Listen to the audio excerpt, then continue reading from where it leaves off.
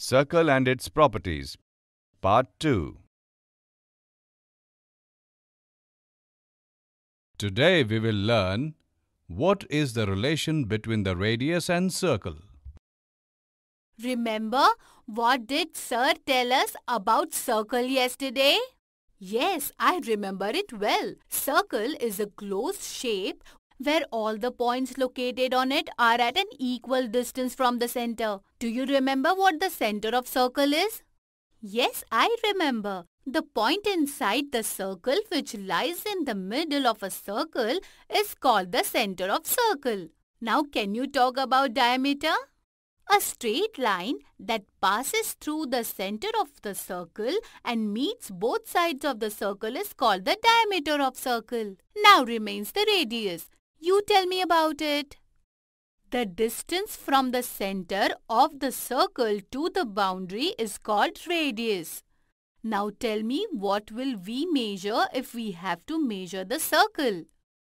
That's easy. You can measure either radius or diameter, but radius will be easier to measure because it is smaller than diameter. Yes, it is not only small, but it is half. Remember, Sir told that the radius is diameter divided by 2. It means diameter is equal to 2 times the radius. Let's uh, measure something. Let's measure these four tires. Then we will tell sir. Which tire should we measure first? Let's measure the tire of our bicycle first. Okay. Hmm, so we have to measure its radius. Yes, and the radius means the distance between the center and the boundary. Here is the center of the wheel of the cycle. But which point on the boundary of the bicycle do we measure the distance from this center? There are many points in it. Measure to any point. The measurement will be equal because the center is at an equal distance from the boundary of the circle. Right. Let's measure up to this point. Okay, now let's measure the distance between these two points using a scale. Radius of the wheel of bicycle is 9 inches. Let's now measure its diameter as well. Hey, why do we need to measure it? We can find it only by measuring the radius. How?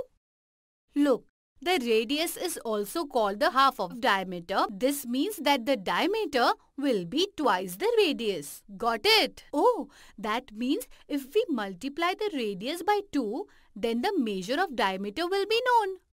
Yes, Radius is 9 inches and multiplied by 2, it will be 18 inches. This means that the diameter of the wheel of our bicycle is 18 inches. Yes, why not measure the diameter of this wheel so that we know that our calculation is correct? Okay, we will also measure the diameter. To measure the diameter, we have to draw a straight line joining both sides in such a way that the line goes through the center. Now let's measure this too. See, the diameter is also 18 inches on the scale. Yes. Now that we have measured the wheels of the bicycle, why not measure the rest of the wheels as well? Yes, let's measure all the wheels. Here is the wheel of the scooter. This is the front wheel of the tractor and this is the tractor's rear wheel. Now let's find the center for all. Here is the center for all wheels. Now measure the distance from the center to the point on the boundary.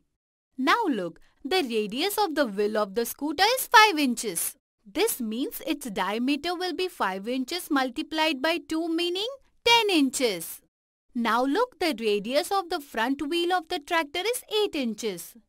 This means its diameter is 16 inches. And now it's the turn of the largest wheel of the tractor.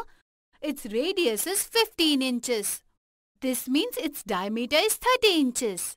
We took the measurement of all the wheels and now let us tell sir. Let's go.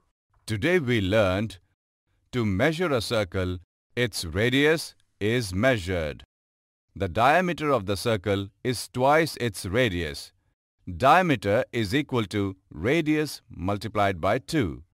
Radius is half the diameter. Radius is equal to diameter divided by 2.